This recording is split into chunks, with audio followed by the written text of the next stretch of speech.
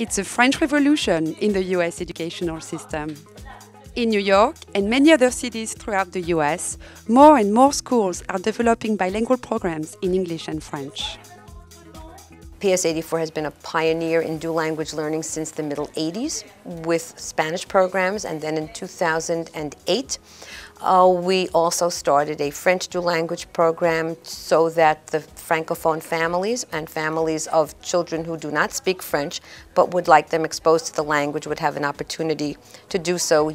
Uh, by the end of grade five, all of the children in those classes will be completely bilingual, biliterate, and bicultural. Alors moi, je pense que tu vas l'aimer comme moi.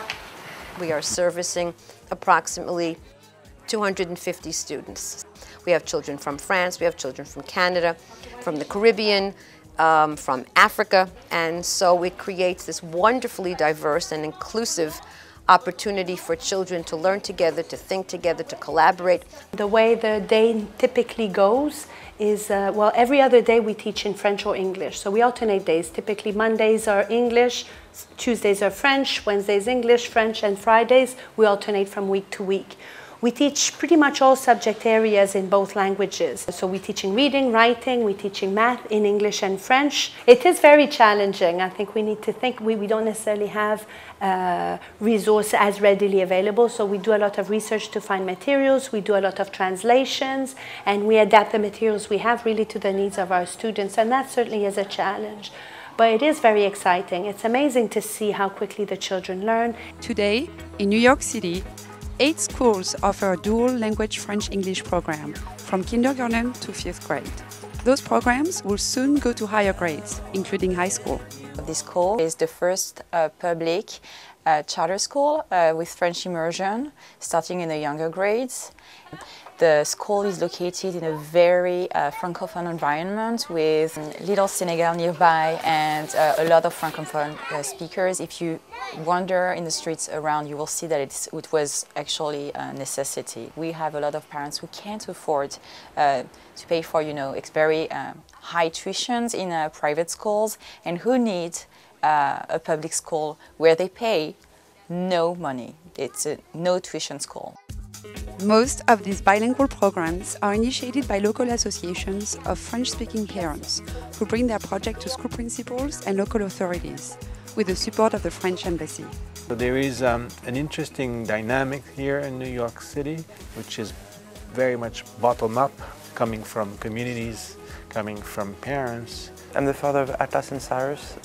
They are both students at PS84 in fourth grade and kindergarten in the French dual language program. My wife, Susan, uh, offered uh, this idea of doing a French program. We get all together and we start planning on, you know, opening the program the September after. So it happened, I say, February, March, and uh, by May we, we uh, gathered information on about 100 families in the neighborhood, and uh, Robin worked with her hierarchy to, to cut all the red tape, and, uh, and by September we somehow, by miracle, we had uh, two grades. They canvassed the neighborhood. They went out, they put up posters, they, they put up websites.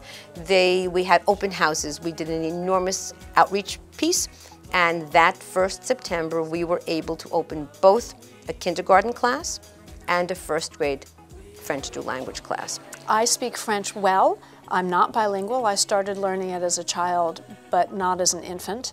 And um, I thought it'd be easier for my girls if they started off literally bilingually. So I spoke with them starting about one, and then this program was founded, and I worked very hard to get into it, and was very glad that I did.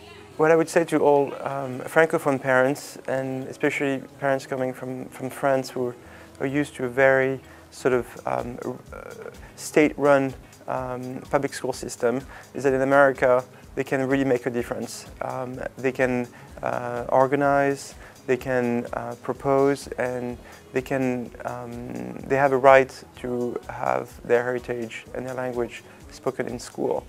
Keeping in touch with their heritage is not the only advantage for bilingual students. During a conference at the Lycée Français of New York in April 2013, a panel of experts discussed the many benefits of mastering several languages from a very young age. For a bilingual, both languages are always active. even when you're speaking English, your French is available for processing. Well, how does your language processor sort that out and allow you to keep speaking in English?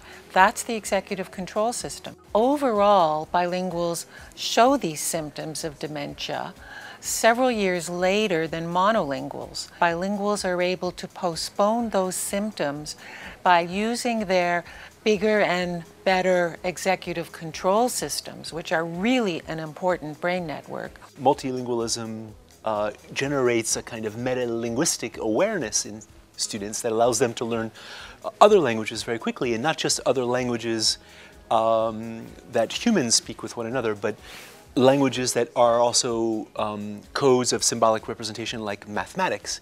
We do notice and feel strongly that uh, bilingual students have a capacity for mathematics that's perhaps slightly more elevated than it might be for monolinguals. We also would add a very, very important point that there's a link between bilingualism and what we could call cultural literacy that uh, speaking multiple languages creates a disposition in young people to the other um, and a fascination with cultures other than the ones they already know, which is really quite remarkable. We're trying to, to, to demonstrate somehow, even if we are at the beginning, that you can actually eat bilingually. Eating bilingually is a concept that is very similar to bilingual language education. The basic idea is that just like you can teach your child another language to read or write in another language, you can teach your child how to enjoy foods from a different culture. My husband is French, I'm Canadian. The kids originally grew up in Canada, but we went to spend a year in France when they were in preschool and in kindergarten. They were exposed to a French food education and quickly learned to start eating lots of new foods. So now my older one loves mussels, for example. The younger one loves Roquefort cheese. So they went from having a quite a restricted diet to a very, very adventurous diet, uh, thanks to French food education. With more than 1.3 billion speakers, French is the fourth most spoken language in the US. Bilingual programs are the perfect way for children of French speaking expatriates to develop their linguistic skills while maintaining a link with their cultures of origin. Vous parlez tous français? Oui. Vous parlez anglais aussi? Oui